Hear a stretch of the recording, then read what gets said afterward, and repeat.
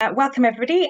Um, so we're going to be covering um, UK species, um, but this uh, webinar is hosted by the Saving Scotland's Amphibians and Reptiles uh, project. So we are of course very excited to look at you know volunteers across the UK and of course beyond, uh, looking at ways you can maybe get involved in your your own countries. But for those of you who are lucky enough to also uh, be based in Scotland, just a little plug that we are um, quite a new project just started in October 21.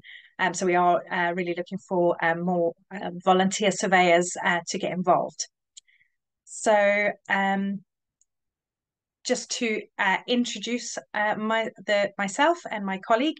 So my name's uh, Rachael. I'm the Scotland coordinator for SAR, um, and I work with Janet Ullman. She's our education officer um, based in Lochalsh. Um, and so the two of us um, make up the, the team, uh, the SAR team here based in Scotland.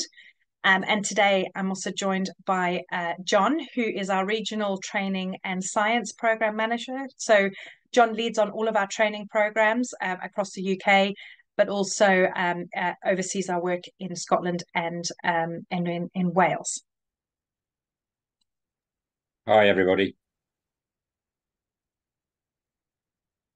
So uh, we're going to start off uh, the session um, with identifying reptiles. Um, and as I mentioned, there'll be an opportunity for some questions. Um, and then I'll be handing over to John, who is going to be taking us through the ID of amphibians.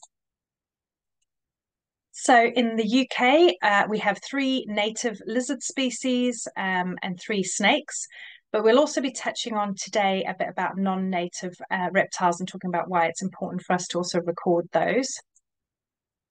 So of the six species um, we have, there's two that are very specialized and um, they have very specific habitat requirements, um, but also um, significantly threatened um, species that need um, some extra attention. So that is our sand lizard and our smooth snake. but also the other four that occur in a, range of different habitats, but also worth looking out for in farmland is we've got common lizard, slow worm, grass snake, and the fantastic adder.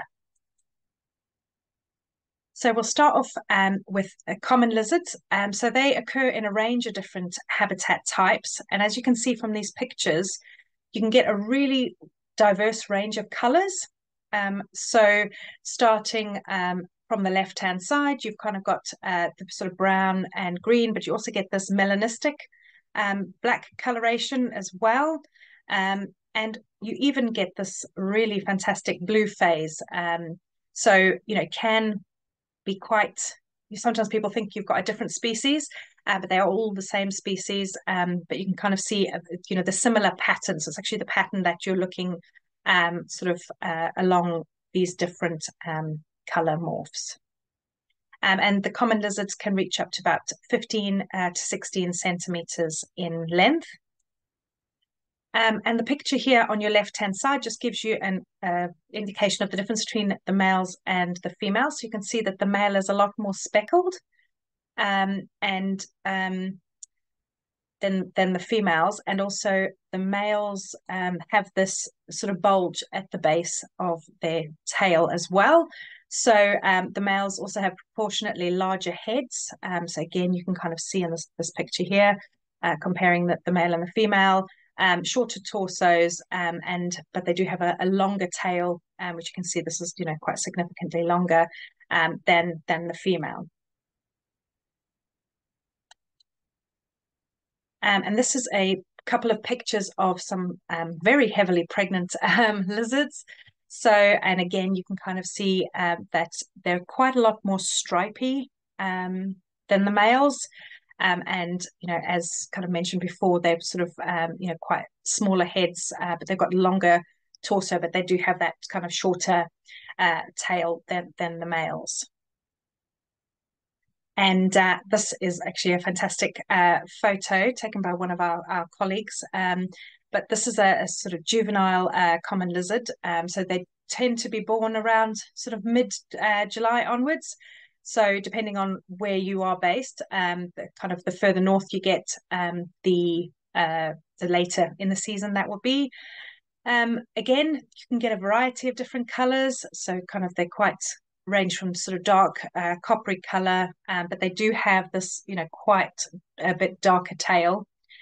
Um, and the colors change um, rapidly as the, the lizard grows, but you know they are you know a very similar pattern um, to to the adults, um, and um, it'll become gradually more obvious as they get older. And uh, this is then we're going to be looking at uh, sand lizards. So they have these kind of eye markings or ocelli, um, and um, they are quite a kind of key feature in their identification. So you can see from these three different pictures, although there's quite variation in the color um, and the the sort of um, adult and juvenile stage, but you can really kind of see these sort of kind of eye markings really quite clearly. Um, and the picture in the top right hand side of the the male has you know showing it's got a really broad head um, and the sides of them go actually quite green in the males during the breeding season so really a very beautiful um, uh, kind of species um, and then the females also have you know the really bold kind of uh, uh, sort of the eye markings so they really stand out quite significantly as you can kind of see from from these um, ocelli here and um, the juveniles, again, um, you know, you can, they are really tiny, but very distinct um, sort of eye markings as, as well as you can kind of see in this picture.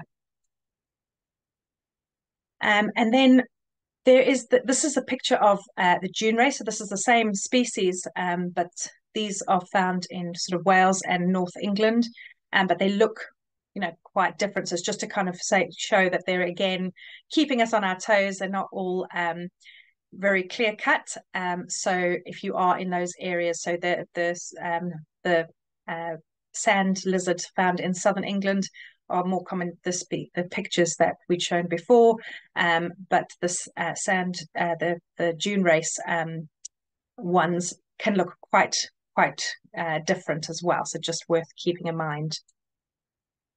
And then on to the slow worms. So um, slow worms are often um, misidentified as being snakes. So they are actually a legless lizard. Um, they are impossible to confuse with any of our UK lizards um, because all the others have legs. Um, but they are, um, you know, often mistaken, um, often as grass snake. Um, so they have quite a defined head and neck region, and sort of unlike other snakes, they actually have eyelids. Um, and so they also like to keep us on our toes. Um, so you can have a whole range from sort of greys and browns to tan um, and sort of orange, copper, and also the melanistic or kind of black uh, variation as well. And the uh, and a mature slow worm um, can kind of reach up to 40 to 45 centimeters um, or more in length. And these are a couple of pictures of, um, again, just different color variations in the males. Um, so um, they have proportionately, you know, they're kind of chunkier, they have proportionately larger heads um, and a thicker neck um, than the females. And um, the some of the males, as you can see in the picture on the right hand side, actually have this lovely kind of uh, blue mottling. so really quite distinctive spots. Um, and um, these can increase as they they mature. Um, so again, the body variation can really vary, as you can kind of see from sort of the sort of lighter brown. Um, you can get to the kind of grey and also melanistic. And that's just kind of um, circling, you know, to have a look at the distinction between sort of the head and neck being actually, you know, really quite a bit chunkier. And in contrast, um, you can see these these two pictures here of um, some females um, and they also, again, like to, you know, kind of keep us busy with trying to guess. They have lots of different colors um, as well. Um, but the females have actually quite distinctly a, a you know, a, a, much darker coloration. Um, then on the dorsal part of the body is, is a lot lighter. Um, as you can see quite clearly from here, kind of looking down, you can actually see the real contrast between that sort of tan color and then the darker brown. Um, and they have the stripe is along the full kind of length of the body um, and also uh, the tail. Um, and uh, the females just in contrast to to that picture we had previously of the male you know kind of really quite chunky um, are a lot slender. So you can kind of see the the neck in particular and the head um, is is all a lot um, smaller um, and the neck is much um, thinner than than the, the male. And also this is a couple of pictures of some juveniles. So, you know, again, really quite uh, pale in color, um, but you can really see even a much stronger contrast uh, between the tan and, and the brown colors. Um, so they're kind of quite a golden sort of a brown or can actually be grayish as well. Um, they can also be pink and a little bit reddish. um, and then the sides, um, you know, can be kind of uh, brown or even black. And they, they look much more similar to to the females. Um, and um, uh, when they're uh, the sort of neonates, the kind of newborn, um, they can be, you know, kind of between sort of just seven uh, to ten centimeters, so really quite quite small. And then uh, obviously the probably um, the one most of us would be familiar with is is hearing about the kind of amazing adder. So this species um, is really distinctive by this lovely little zigzag uh, pattern. So um, the males have a black zigzag, um, and they're kind of often sort of uh, um, grey kind of background, as you can see from from the left hand side.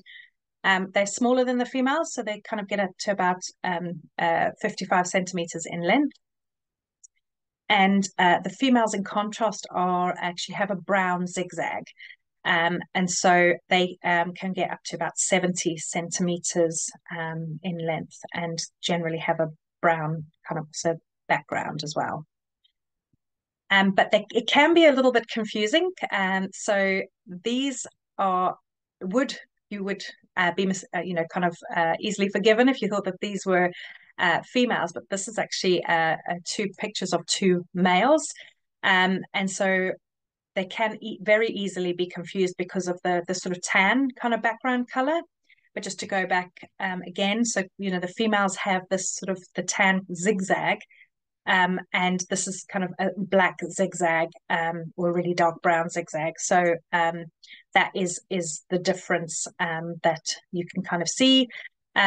Um, also with adders, they have these little um, black spots or brown spots on the side of their body as well as the zigzag. and so this is just again in contrast showing you this is a female. so I'll just flick back again. So this one here is the male, so much uh, darker um, zigzag, black zigzag, um, but the brown body, and this one's a brown zigzag and a brown body.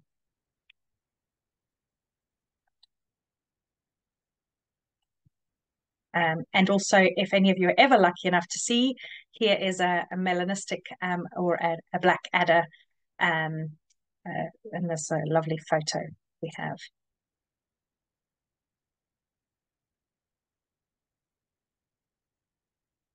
and then um, just to show you some pictures of a juvenile adder as well. So they can look a lot, they are, look a lot uh, more similar to the female.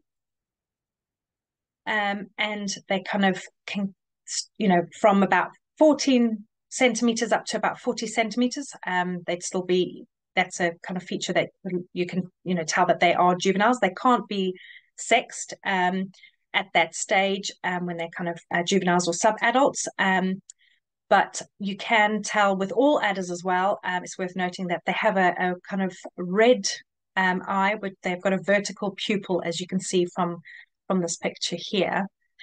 Um, and in contrast, this, the, this is a grass snake and they've got the round pupil. So that's a grass snake with a round pupil and then you've got the vertical pupil here.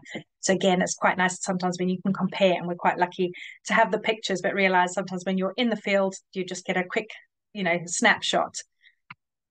Um, so then moving on to the grass snake. Um, so they are typically um, olive and green, um, but again, they can also be um, brown, or uh, grayish. Um, so they can actually get up to a, a hundred uh, centimeters plus um, in length. Um, and as I mentioned, they've got this lovely kind of round uh, pupil as well. And they tend to have this, well, they have this uh, yellow and black collar. And this gives you a better um, picture of that. So John always calls it his McDonald's sign. And so that's an easy way to remember the grass snake. So you can kind of see from, from this collar. So uh, the males are a lot smaller um, and thinner uh, than than the females. They also have quite a narrow head, and so you can kind of see, you know, if you're able to look from from above, um, that their eyes are quite protruding, um, as you can see in this picture here. Whereas the females have a kind of chunkier head, and their eyes are, you know, kind of sit um, with within in, within the head, and they don't actually protrude um, quite the same way. But you can also see that the females are a lot chunkier um, in their body um, as well. and then this is a, a, picture just to show you that these uh, the grass snake is our only snake that lays eggs. Um, so this is a limiting factor to where they can spread and actually finding safe and uh, kind of warm areas to lay their eggs. Um, and this is a, a, picture here on the left hand side is, is, just showing you some eggs. So if you might also come across this, if you're lucky, they're kind of a lot more leathery um, looking.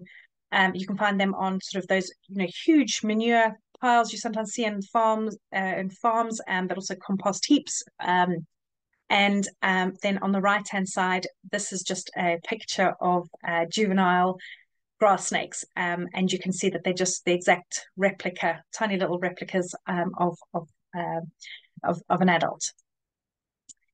Um, we're not quite sure if grass snakes actually occur in Scotland. So there has been some historical records. We're not actually sure um, if some of them have been uh, relocated um, or misidentified. Uh, but certainly in the last 10 years, there hasn't been any verified record um, of any uh, grass snake occurring. We have had um, people get in touch who are, you know, very experienced herpetologists who have seen them, but we don't have any evidence of any breeding.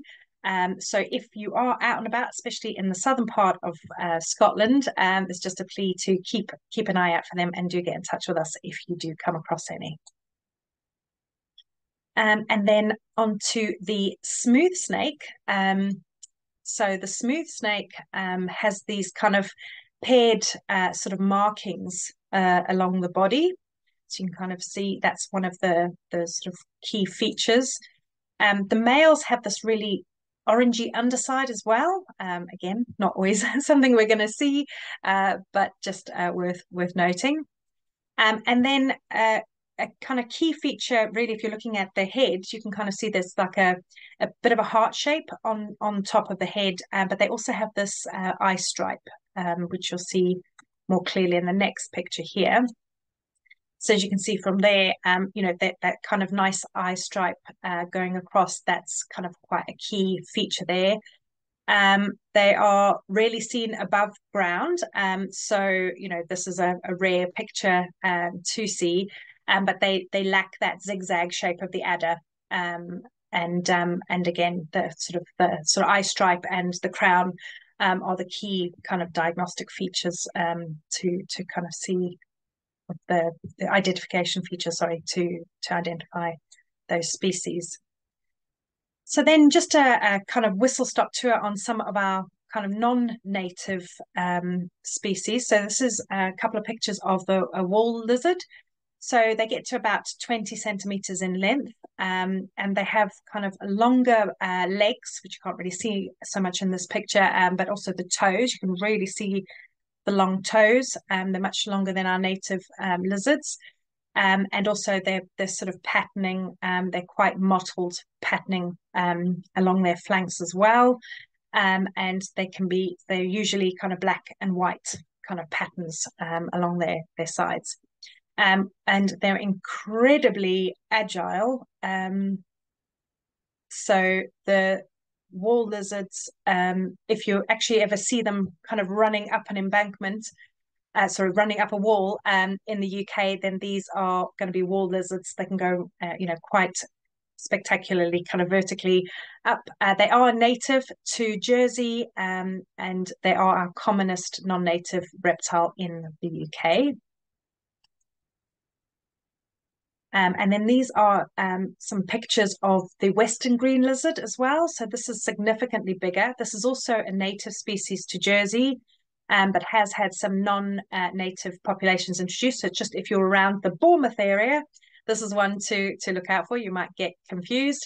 Um, and um, but yes, it's just found on the cliff tops in Bournemouth. Um, there has been some escapees reported elsewhere um, but so it's just one to to look out for.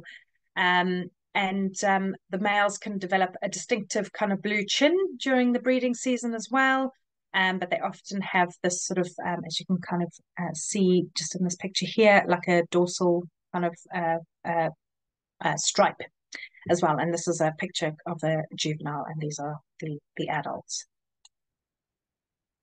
Um, and another thing that's really worth looking out for is um, sloughs or shedded skin. Um, so this is just to give a sort of a, indication of, you know, like you can really kind of see the sand lizard um, sort of uh, markings here.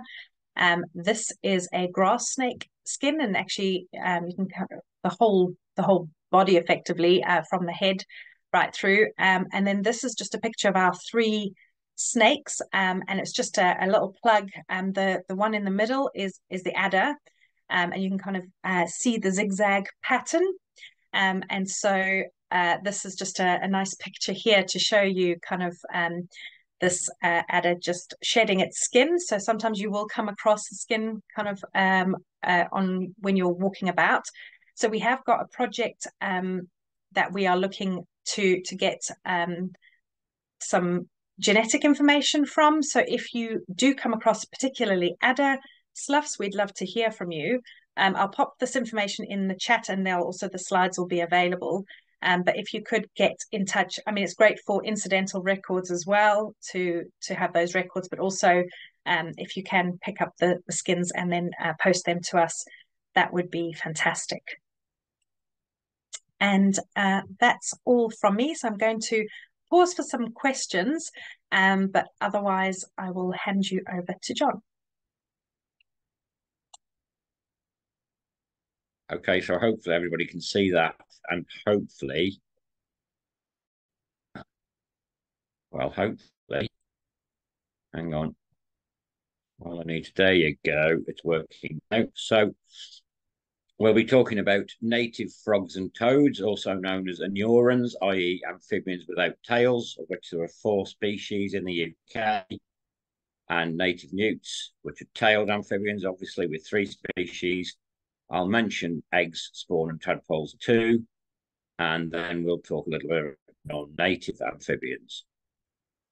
So the commonest species, the most frequently encountered, is the common frog, they have smooth skins and are quite athletic. Um, jump or hop rather than walk. You won't see a frog walking, actually. Unlike popular misconceptions, they're not usually green. They're normally this yellowish brown colour. The key ID features are their smooth skin, muscular back legs, and this dark is very indicative of uh, common frogs and their relatives. So there's um, an example of four different colour forms of the common frog.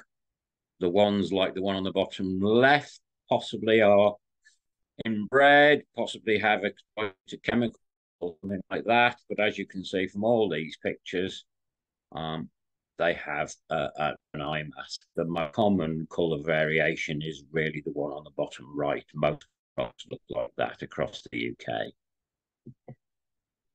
And Whereas once a time they used to be widespread in the countryside, since a lot of farmland ponds were lost, they tend these days to live in amenity or garden ponds, and they're very adaptable in the kind of ponds they can live in. If there are large fish in a pond, um, to, uh, frog tadpoles are very, very tasty, so you don't tend to get them where there are large numbers of fish. But apart from that, they're quite variable in the kind of ponds that they use. On to the toad then, still called the common toad, but much less common than they formerly were. They're a much chunkier animal than the common frog. They have warty skin and don't tend to jump very much. They walk or hop. Particular ID feature is this lovely golden or orange eye and also the parotoid glands either side of the head. And these are things that if you're a predator and you were trying to grab a toad and eat it, you would then get a very nasty taste in your mouth from these parotoid glands. And in fact, the warts also um, exude uh, nasty tasting substances as well. So toads live generally in different kind of ponds than frogs. They prefer much bigger, deep ponds, and they can tolerate fish because even their tadpoles taste nasty. Uh, so you'll find them often in very different kinds of ponds. If you get a medium-sized pond with some shallow areas, you might get both species, but very often they don't live in the same kinds of ponds, which is a, a useful uh, to form pond creation projects, to be honest. If you want lots of different amphibians, put in lots of different kind of ponds. Useful to mention the difference between males and females in frogs and toads. Um, I always say to people that male frogs and toads are like Popeye and female frogs and toads are like Olive Oyl. They have tend to have weedy front arms, whereas ma male toads and frogs have these chunky forearms, especially um, muscular aspect females during mating. Uh, and also in the breeding season in particular, they get these swollen areas on their thumbs and their fingers, which also help them grasp the females. And it's not so easy to see that in frogs, but you can do that. Well, there you go. So, excuse me, our next anuran is the natterjack. It's on second rarest anuran, really. It's endangered in the UK. It's right on the edge of its range. It's mainly found on dunes or heaths, also some salt marshes, places where they can burrow into the soil. They really like small temporary ponds that warm up quickly in the sun. And uh, as with the common toad, you can identify them through their eyes, which are greenish or yellowish. They also have more often than not pale or um, yellowish along the back. And of course, there are different colours in common toads. The warts tend to be greenish or reddish. Hopefully, uh, now we're going to hear, hear a natterjack calling. There are only native anuran to have a large single vocal sac under their chin, and they can be very loud.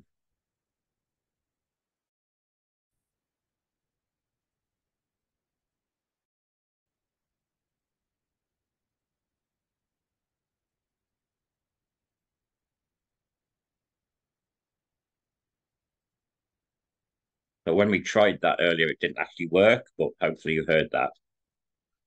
So as I say, they prefer these um, more temporary habitats. They're breeding in ponds that dry up. They they breed uh, opportunistically when there's enough water in the ponds and the ponds are warm. They also need a different kind of terrestrial habitat than our other frogs and toads in that they absolutely need very, very open uh, vegetation height that's often heavily, heavily grazed. Um, I don't really know why, but certainly if the habitats they live in develop into woodland, you're more likely to get invasion by the other species, and the natterjacks tend to move on or die out. So that's one of the reasons I'm afraid that they're as rare as they are. And our last one, which is uh, classified as critically endangered still. It's reintroduced into East Anglia. That's what we call the northern pool frog. There are pool frogs all over Europe, but many of them are, are bright green or variations thereof. Our pool frogs, in inverted commas, tend to be brown or yellowish with uh, also a stripe down their backs. They're also quite a noisy species, but unlike the natterjack, they have uh, two vocal sacs, one either side of the head. The male are slightly smaller, uh, and they're only found in uh, Scandinavia, Estonia, and England. Um, it's because of when the English Channel was forming, um, southern England was cut off from France long before it was cut off from northern Europe. So our um, pool frogs are related to those from Sweden for example. In fact, that's where they've been reintroduced from.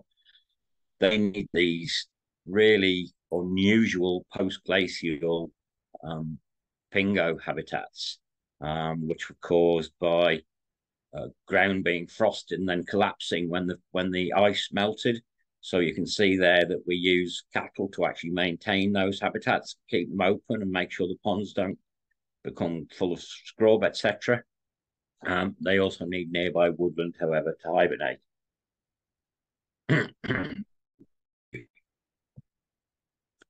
so frog and toad spawn, hopefully everybody already knows this. Frog spawns always in clumps, toad spawns always in strings. That's common frog spawn on the left and toad spawn on the right. Natterjack spawn looks very similar to common toad spawn, but once it's been laid and swells up, the eggs divide into a single string, whereas toad spawn, common toad spawn, the eggs will divide into a double string of eggs. So you can always tell those apart unless they're um, heavily uh, tight around something, in which case they're stretched, but something to bear in mind, you can usually tell them apart. Similarly, the tadpoles are very, very different. When they hatch, they're small black and tadpoley, surprise, surprise, but as they grow, um, they're easier to tell apart. So the frog on the left and the toad on the right are actually at very similar stage of development in this picture. Um, frogs, tadpoles tend to be speckled and they hide. They tend to behave a lot more differently to toad tadpoles because, as I said earlier, they are extremely tasty, whereas toad tadpoles are not. They're a bit more distasteful, so they're quite happy to swim around in the open. excuse me. And unlike newts, frogs and toads will develop their back legs before they grow their front ones. If anybody has a good theory as to why newt tadpole develop front legs first, uh, I'd be lovely to hear it. So, um, you can also tell this species apart when they first leave the water. So these are both animals that have just recently left their ponds. They're known as metamorphs you can already see the features that you would see in the adults. So uh, more athletic back legs and a pointy nose in the frog, and a little snub nose and uh, uh, an inclination to walk in the toad. And you can see tiny parotoid glands on the toad if you look very carefully. Um, all baby toads are really, really tiny when they leave the water, um, whereas frogs can be a bit bigger if they uh, if they've eaten more. And lastly, our non-native frogs and toads include the marsh frog, which is a relative of the pool frog. Um, they're extremely variable in colour. It's most our most common non-native anuran.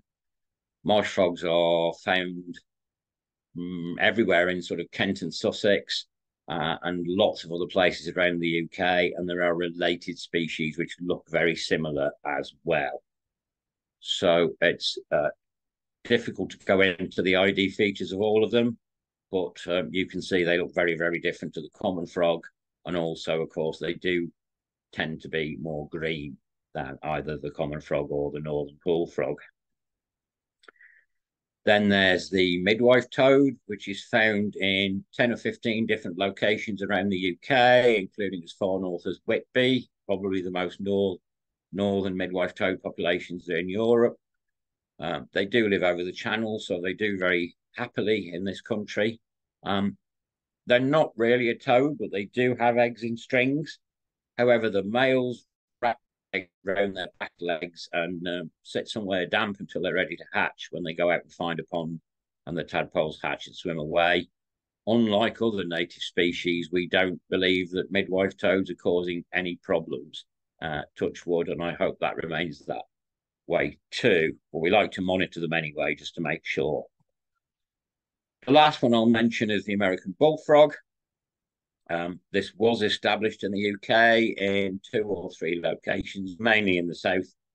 There have been efforts to eradicate it, and I very much hope they've been successful because this is pretty much a nightmare. They they grow large enough to eat uh, small waterfowl, actually, and pretty much everything else, including other amphibians that would naturally be in the ponds where they were introduced. So hopefully we've seen the back of those. Worthwhile showing you a picture just in case you do spot one, and we'd love to know if you do. so onto the newts now. We start by comparing the males. So this is a palmate newt. Um, they they are variable in colour, but they're basically brown or olive coloured with spots on their flanks and especially two rows of spots along their tails very often. They will grow as big as nine centimeters, but they can breed at much smaller size than that. Uh, rather than having a crest like other male newts, they just have a low ridge and they're very boxy in section. But for palmate newts, you can tell um, they're a male by their tail filament and also by these heavily webbed hind feet that look a bit like sycamore leaves. a closely related species is the smooth newt. They can grow slightly bigger than palmates, but of course, uh, what I always say is smooth newts have a smooth crest. So they have this unbroken wavy crest along their back. Um, and unlike the palmate with its uh, heavily webbed feet, their feet are just frilly. Both species can have a stripy head, but it's often more easy to see in smooth newts. Oh, yes. And of course, um, we'll see in the Great Crested Newt shortly that um, males can have flashes of colour on their tails, which is a, one of the ways they attract females. In the smooth newt, there's a blue and orange flash at the bottom end of the tail. So you'll see the contrast in a second. Female newts can be hard to tell apart. The females of smooth and palmate newts look very similar. However, if you are doing a survey uh, and you get the opportunity to hold them and flip them over, you can see that their undersides look very different.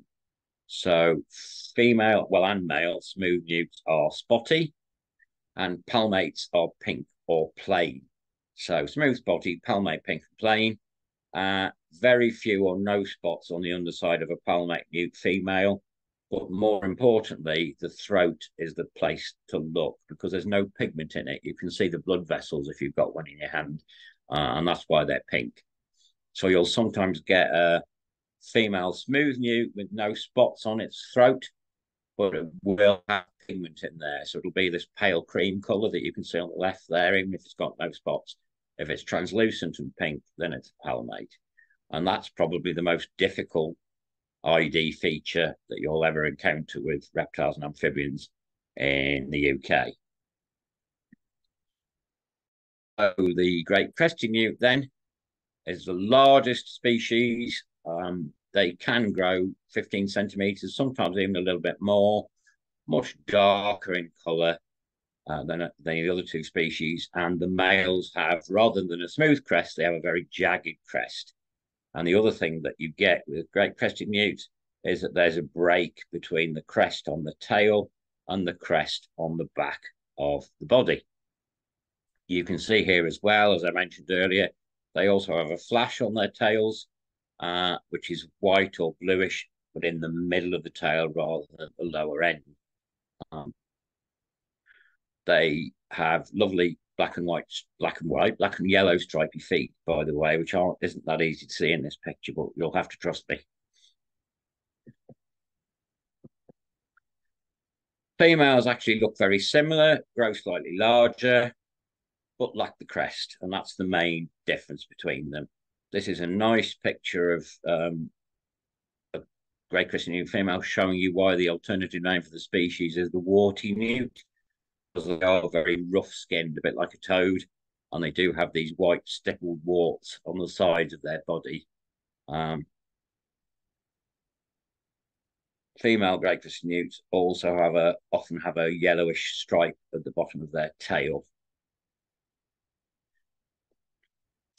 And irrespective of sex, their undersides look nothing like either of the other two native species, a very bright, often yellowish or orange coloration with irregular, very prominent spots that often merge into one another to make, well, almost like a stripe, I suppose. And you can see what I mean by that picture, actually. Um, each one is completely individual, and you can use this in studies to identify individual great crested newts to count the population, for example. Oh, um, newt eggs, of course, are not laid in clumps or strings. They lay them singly.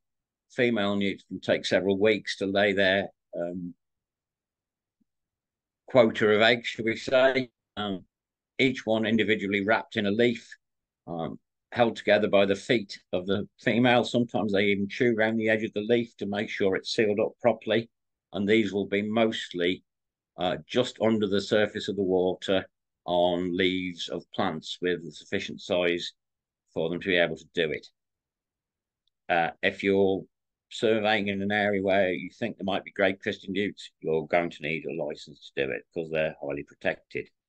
However, you can tell the eggs of great crested newts apart from the other species, particularly because although the size is often difficult to see in the field, they're yellow or whitish in colour, whereas those of the smooth or palmate newt are greyish or brownish, uh, and you can't tell the smooth and palmate newt eggs apart, unfortunately.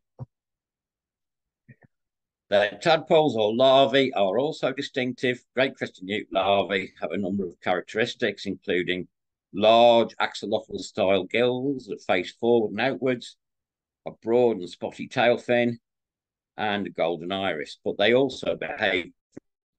They swim around in the water column uh, and dangle their toes, uh, as the one in the picture is doing. So they're very, very vulnerable to predation by fish. So this is why great crested newts are as protected as they are, or one of the reasons they are, because actually they're very, very vulnerable to being eaten by fish when they're tadpoles. In contrast, tadpoles of smooth and palmate newts behave a bit like common frog tadpoles. They're much more sensible. They'll skulk in the bottom of the pond amongst the vegetation or in the mud. Slightly less uh, prominent gills, and really um, muddy speckling on the tail rather than the big obvious spots of the great crested newt larva. And finally, uh, let's talk about some non-natives.